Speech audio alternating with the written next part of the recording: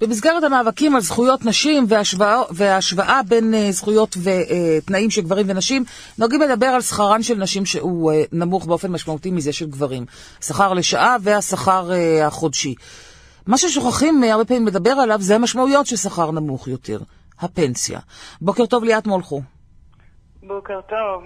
את מנהלת פרויקט הפנסיה בעמותת סביבה תומכת, ועל פי אה, אה, נתונים אה, שאתה נספתם, מסתבר שעתידן הכלכלי של יותר מ-50% מן הנשים נמצא, אתם קראתם לזה בסכנה, ואני הייתי אומרת, עתידן כבר די ברור שהוא לא בסכנה, הוא פשוט הולך להיות עגום ביותר. נכון. אנחנו קודם כל מסתכלות על מצב החיסכון הפנסיוני של נשים בכלל, ואנחנו אומרות, מעל ל-50% מהנשים לא חוסכות. אבל כל מי שעובדת חייבת, כל מי שעובדת חייבת היום על פי חוק. אה, נכון, אבל אה, קודם כל זה תהליך שקורה וקורה לאט, ויש גם הרבה מגזרים שאנחנו מגלות באמצעות ארגונים חברתיים אחרים, נשים שעובדות והעבודה שלהן היא קצת שקופה. כן. נתחיל מעוזרות בית ומטפלות ונשים אה, שעובדות אפילו באקדמיה במקצועות זמניים שונים. לפי שעה למשל, מי שהיא עובדת זמנית לפי שעה. נכון, או לפי... עצמאיות. זמני, כן. אה, ונשים שעובדות בעמותות, mm-hmm.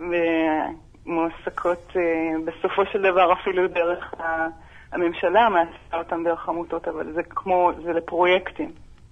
כן. אה, בסך הכל, אבל מעבר ל-50% מהנשים שאינן חוסכות לפנסיה... אז בואי נדבר על ה-50% שכן חוסכות, וחושבות שהן מסדירות את עתידה. נכון. ואז מסתבר שזה לא... לה, אנחנו קראנו לכנס שלנו אתמול אה, פנסיה משלה, אבל גם פנסיה משלה. אוקיי. נדמה לנו שאנחנו בסדר וחסכנו משהו, או המעביד עושה בשבילנו משהו, ואנחנו עושות חישובים מאחר ששכר הנשים הוא נמוך יותר. אנחנו עשינו חישוב לגבי נשים אה, בשכר מינימום, מ-3,850 שקל לחודש, מי ש-30 שנה עובדת וחוסכת לפנסיה כל חודש, בסופו של תהליך הפנסיה שלה תהיה 1,600 שקל בלבד. נכון, נכון. ואנחנו אומרות uh, שנשים, ש... ולא רק נשים, גם גברים, אבל uh, נשים במיוחד, מאחר שהן ב... uh, גם מרוויחות פחות, גם יוצאות לפגרות uh, לגידול ילדים, בסך הכל הפנסיה שלהם גם כך היא יותר קטנה, מאחר שהיום אנחנו בפנסיה צוברת, ואנשים צריכים לחסוך עבור עצמם, והאחריות על החיסכון היא על הפרט. שזה דרך אגב עבור חלק מן הנשים יותר טוב, בגלל שקודם לכן המעסיקים פשוט לא חסכו להם פנסיה בכלל. עכשיו אין ברירה וחייבים לחסוך לכל אדם עובד, לפחות אז, ברמת עיקרון. אז יש פה איזו שאלה, אתמול עלו הרבה קולות בכנס שלנו, האם בכלל אה, נשים, למרות שהן חוסכות, האם הן יגיעו למצב שתהיה להן איזושהי קצבה הולמת, ואולי אפילו נעשה להן עוול מאחר שהן הפסידו כן. השלמת הכנסה. כי אה, מעבר לקצבת אה, זקנה של ביטוח לאומי, אם לא מגיעים ל... כן. אה, הכנסות נוספות, אתה זכאי לקצבה, אבל אם יש לך, אה, השלמה, אבל אם אין לך, או. אין לך, כן. אה, אם יש לך אה, מעל 1,060 שקלים, מתבטלת לך הבטחת הכנסה. זאת אומרת, מי, ש... מי שיש לה פנסיה של אלף שקלים בחודש, כל מה שהיא תקבל זה את הקצבת זקנה של ביטוח לאומי, ותצטרך בעצם להתקיים באזור 2,500 שקל לעת זקנה, מזה אי אפשר לחיות. נכון.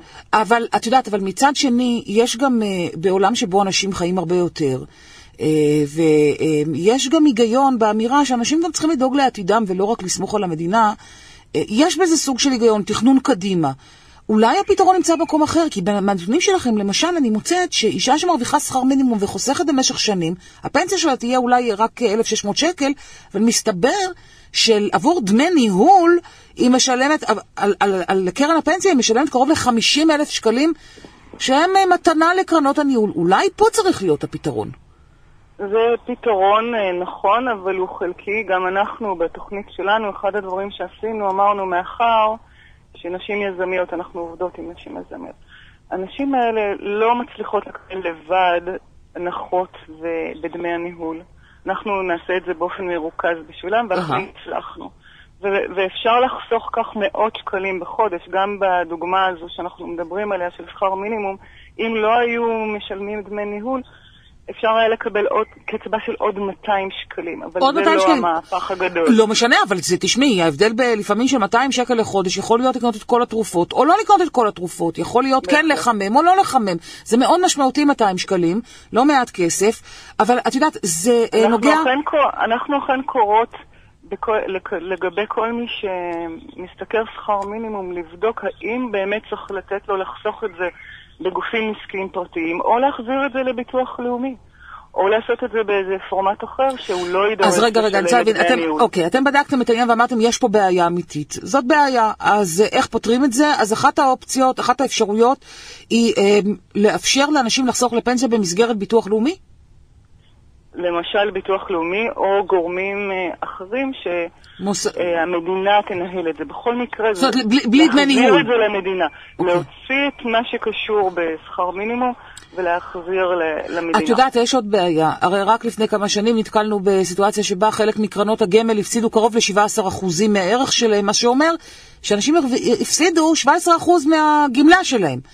ולא בגלל שהם עשו איזשהו מעשה כזה או אחר, אלא פשוט בגלל שאותן קרנות אה, פנסיה מושקעות בבורסה.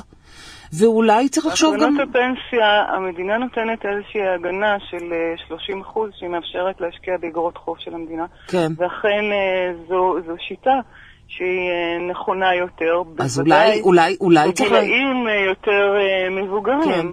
אבל אולי צריך לתת לה, את יודעת, אולי בכלל צריך לומר, כספי הפנסיה לא צריכים לשחק בבורסה, הם צריכים להיות אלה כספים שבאמת יושקעו רק בדברים שהם בטוחים וסולידיים לחלוטין, כדי למנוע מצבים שבהם אנשים משלמים אלפי שקלים בשנה לפעמים על אה, דמי ניהול. אה, לפעמים מאות שקלים, לפעמים אלפי שקלים, תלוי בגובה הפנסיה הנחסכת, ובנוסף, גם כספי הפנסיה שלהם נמצאים כל הזמן בסכנה, גם אם יש הגנה רק על 30 אחוז. זה נכון, וזה מאוד אה, תלוי באיזה גיל אתה נמצא. זה בטח כדאי אה, לצאת מהשוק כאשר אה, אתה מתקרב לפרישה. כן. אבל אה, אז בינתיים את אומרת, אצלכם... גם היום יש לבן אדם אפשרות אה, מרחב ותמרון אה, בתוך קרן הפנסיה, באיזה מסלול הוא נמצא. כן, אבל אנשים לא מבינים, ואת יודעת, הם יוצאים מתוך הנחה שמי שעומד מולם יודע מה הוא אומר כשהוא ממליץ להם לבחור בדרך כזו או אחרת, ובסופו של יום מי שעומד מולם זה אותו אה, סוכן ביטוח, או נציג אה, אותה קרן, והוא עובד בשביל הקרן, הוא לא עובד בשביל הפנסיונר לעתיד. אנחנו מאוד ממליצים לעשות אה, ייעוץ אובייקטיבי. אנחנו רואות בתוך התוכנית שלנו שנשים יכולות לחסוך המון כסף על ידי תשומת לב לפרטים אה, ושונים כמו אה, מצב אישי, כן. אה, שלפעמים הדברים רשומים לא נכון וכספים פשוט הולכים. את יודעת, ליאת, אבל זה נכון. אז זהו, וזה נכון לא רק לגבי פנסיה. הבעיה היא שכשמדברים על מקבלי שכר מינימום, צריך הרבה פעמים להגיע אליהם עם העצות, עם הידע, ואולי אפילו נשתמש אה, פה. אצלכם אפשר לקבל ייעוץ כזה, נכון? אצלנו אנחנו מעבירות גם סדנאות, ואנחנו קוראים לסדנאות פנסיה בשפה קלה. אוקיי. אנחנו מנסות לעשות את זה הכי פשוט שאפשר, את כל המושגים, ההבחנה בין קרן פנסיה, ביטוח מנהלים. מבוא להבין- לפנסיה. אז איך, כן. איך מגיעים אליכם כל בסביבה כל תומכת? אישה יכולה לקבל את הסדנה הזו אצלנו. לגבי הייעוץ וההכוונה לקרנות פנסיה שאיתם חתמנו הסכמים אה, מועדפים, אה, את צריכה להיות אה, יזמית וחברת סביבה תומכת. אבל יש פה איזשהו מודל שאנחנו יצרנו, כן. ושווה לאמץ אותו גם בארגונים אחרים. אנחנו לקחנו קבוצה של נשים שלבד לא יכולות, ואנחנו מייצגות אותן ביחד אה, מול חברות הפנסיה. והדרך הזו היא, היא חשובה וטובה, כי היכולת המיקוח פה היא קריטית. ברור, ואפשר ברור. להשיג. מה שאת אומרת זה בעצם סוג של קואופרטיב, אה, לא קואופרטיב אולי, אבל של אה, סוג של רשת חברתית אה, כלכלית שעוזרת לנשים אה, להילחם על הזכויות שלהם, התארגנות, התארגנות פנסיונריות לעתיד. כן. יפה. איך, איך מגיעים אליכם ליאת? אפשר דרך האתר שלנו, תני לנו את הכתובת. אה, סביבה תומכת, כן. אוקיי, אור גאל. אוקיי. יפה, אז אנחנו נכניס את, אה, נכניס את כתובת האתר אצלנו באתר אה, הרדיו, אה, וכך מי שיתעניין וירצה, מי שתתעניין ותרצה תוכל להיכנס ולראות. אני מציעה שלא רק יזמיות ייכנסו, אלא בכלל, אולי, את יודעת, בסופו של דבר משם תבוא בשורה לעוד נשים, גם כאלה שהן לא בהכרח יזמיות, אלא פשוט נשים שרוצות לדאוג לעתיד שלהן. תודה, תודה, רב, תודה רבה ליאת מולכו. להתראות, ביי. עמותת סביבה תומכת.